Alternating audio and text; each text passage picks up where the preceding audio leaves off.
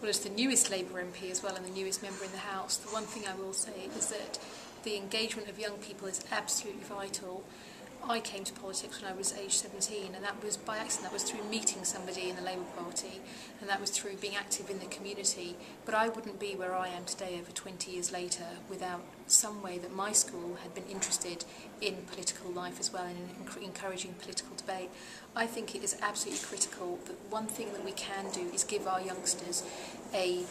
route into political life, if they don't understand how decisions are made in society, then we are not giving them the chance to be equal players when they are adults. And I think that is, you know, really a legacy that we will be you know, taking the consequences of for generations.